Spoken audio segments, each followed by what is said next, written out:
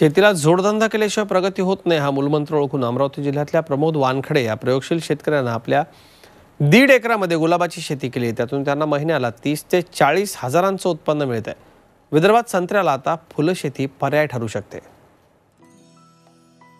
गुलाबाच्या फुलांनी बहरलेली ही शेती. अमरावती जिल्ह्यातील प्रगतिशील शेतकरी प्रमोद वानखेडे यांनी फुलवली आहे. ग्लॅडिएटर जातीच्या गुलाबाची त्यांनी आपल्या शेतात लागवड केली आहे. दीड एकरात गुलाबाची पंधराशे रोपं त्यांनी लावली. त्यांना या बागेतून दररोज हजार ते पंधराशे फुलांचं उत्पादन मिळतं. खरं तर या दीड एकर जमिनीतून वानखेडे यांना अनेक वर्षांपासून फारसं उत्पन्न मिळालं नव्हतं. त्यामुळे ते वेगळ्या पिकाच्या शोधात होते. शिर्डीतून त्यांना गुलाब लागवडीची कल्पना सुचली. एकदा शिर्डीला गेल्यानंतर मला तिथे गुलाबांचे बगीचे दिसले. त्यामुळे मला तिथून कल्पना मिळाली की बा आपणही गुलाब लावला तर आपल्या मार्केटला गुलाब जाईल. त्यामुळे मी दीड एकरामध्ये लिंबू लावला आणि दीड एकरामध्ये जवळपास माझा गुलाब मी लावलेला आहे. तो पंधराशे गुलाब मी लावलेला आहे वानखेडे यांनी डच जातीच्या गुलाबाची लागवड करण्याचा निर्णय घेतला होता. मात्र त्यामध्ये अडचण आली आणि त्यावर त्यांनी मातही केली. त्यामध्ये मी आधी डच गुलाब लावणार होतो.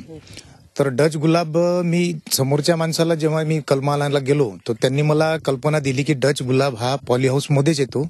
आणि माझा तो ओपनमध्ये गुलाब आहे. त्याच्यामुळे मग ते म्हणाले की बा तुम्ही ग्लॅडिएटर लावा. म्हणून मग मी ग्लॅडिएटर लावला.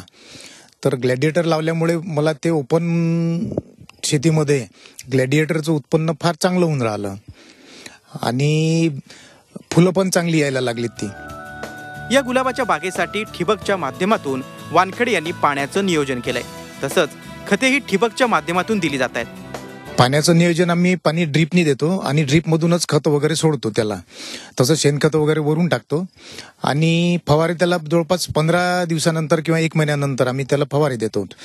आणि रोजचं उत्पन्न जवळपास हजार ते पंधराशे फुलं माझे निघतात. स्थानिक तसंच नागपूर मार्केटमध्ये वानखेडे गुलाबांची विक्री करतात. प्रतिफूल दोन रुपयांचा दर त्यांना सध्या मिळतोय. माझे बाबा आणि कोणी समजा घरी आपले गुलाब वगैरे तोडून आणतात त्याच्यानंतर आम्ही त्याला घरी सर्व म्हणजे पॅकिंग वगैरे करणं आणि जिथे जिथे जिथे मार्केट चांगलं आहे समजा कोणी जर असं लग्न कार्यात वगैरे जर कोणी मागितलं तर आम्ही तिथे पण फुलं वगैरे म्हणजे पाठवतो. वानखेडे यांच्याकडे एकूण आठ एकर शेती आहे. पाच एकरात त्यांनी संत्र्याची बाग लावली आहे. तर दीड एकरावर त्यांनी ही गुलाबाची बाग फुलवली आहे. संत्रा बागेतून वर्षातून एकदाच उत्पन्न मिळतं. तर गुलाबाच्या बागेतून त्यांना रोजच उत्पन्न मिळू लागले. शेतकऱ्यांनी अशा प्रकारे वेगळी पिकं घेऊन शेती फायदेशीर करण्याची आवश्यकता आहे. Rajesh Sonune Zee Media Amravati.